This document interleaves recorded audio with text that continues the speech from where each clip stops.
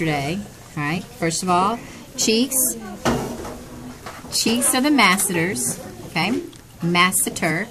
And then um, this has now been torn because we have to do that today. The mylohyoid is the center V. The digastric, sorry, the triangle. The digastric is the V, upper, lower V, sternomastoid. And then this strip of two is sternohyoid. So getting your bearings, sternomastoids, digastric, center part mylohyoid, center part sternohyoid. Now the little guy that most people can't find is the stylohyoid, which is right here. Stylohyoid. Very small, very likely torn. I'm pretty sure I still have it on this side, but I haven't unburied it yet. Okay? Now, today, the first thing you're going to do is you're going to cut your sternohyoid. I recommend cutting it at the sternum unless you accidentally already cut it the other way. So you lift this up out of the way, okay, get it out of the way, and you're going to see that there's a muscle here and there is a muscle here. And do you see how they, there's like, they strap down? So this is one piece, then it hits like a bump, and then here's the second piece. So one, bump, two. And then right here on the throat is the heart, okay? This is kind of the heart shape, so that's the cricothyroid. Cricothyroid. And I just, and if you press on this, you'll feel the larynx underneath. It kind of feels really cool. Um, and the so does this part. So that whole thing, I would highly recommend. Um, it's all hyaline cartilage. It's fun to push on. So the cricothyroid, just think crico, crico, because to do that noise, I have to use my larynx. Crico. So it's a little heart. And then this is the thyrohyoid. It goes from, here's my thyroid. I'm tapping it. Tap, tap, tap, thyroid. It's a gland. Oh, okay. It's a gland. So I'm, I'm pushing on the thyroid. Um, and then the thyrohyoid goes from the little pad up to the hyoid bone. So it got its name thyrohyoid because it's right beside the thyroid and it stops at the hyoid. Then this guy, sternothyroid, same story. It comes from the sternum and it ends at the thyroid. So it's called sternothyroid thyrohyoid. So it's like you're doing a lily pad and you're a frog, and this all ties in together because we go cricothyroid, cricothyroid. You're a frog, and if you hop from the bank, which is the sternum, and you go to the pad, you're going from the sternum to the thyroid. So sternothyroid. Then, oh, I don't want to stay on the lily pad. I want to jump to the other side. And so then I jump from the thyro to the hyoid bone. So sternothyroid, cricothyroid, thyrohyoid in a row. And there's two sets, so this is the other one over here, and this is the other one up here. Right here. I almost tore it.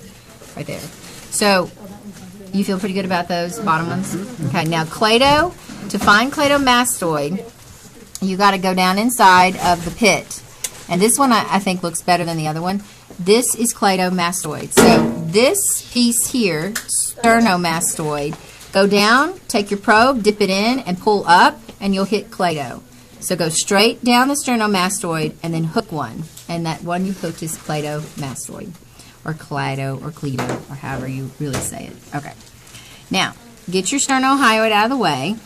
And now up here at the top, you've got the mylohyoid. And you're going to have to take your probe. This one's not torn because this is the side that has my stylohyoid. You want to try, and if you do have a stylohyoid, use the other side. Because if you probe the side that has the stylohyoid, it's going to get messed up. Okay, so take your probe, get up underneath there, and just kind of pull it up. And then lift this out of the way. And what you'll see underneath is a straight muscle. This muscle starts here and goes all the way up.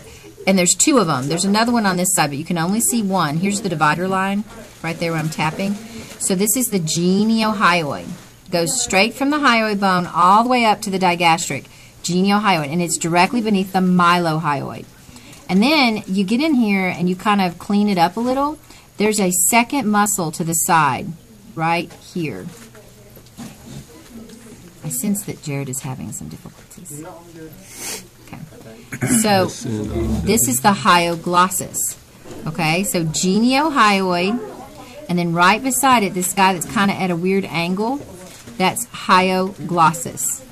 Okay, so it's alphabetically in the right order, G-H from the center. G-H. Hyoglossus geniohyoid. All starting from the hyoid bone. So that's how they got its name. And then I forgot, I don't make you learn the ones in the pit anymore, and I had you draw them on the diagram. Oh well. There's a styloglossus and a genioglossus, and I don't make you learn those anymore. Okay, so digastric, masseter, sternomastoid, sternohyoid, and the little guy right here, he's turned brown over the weekend, stylohyoid. Then lift your sternohyoid. You got the cricothyroid. You've got the sternothyroid. You've got the thyrohyoid. And I probe all these on the test, by the way, so there'll always be a probe wherever we're at. Okay, and then you tear the mylohyoid open. You push the rough out of the way, straight line down the middle, geniohyoid, and then the weird guy that's kind of at a kind of little bit of an angle from it is hyoglossus. I wonder what the ones on the side. One's on the side. The, that one. Oh gosh. Oh yeah, clado. Yeah, sorry, cladomastoid. So this deep muscle. Okay, and now I'll tag it for you guys, and that's it.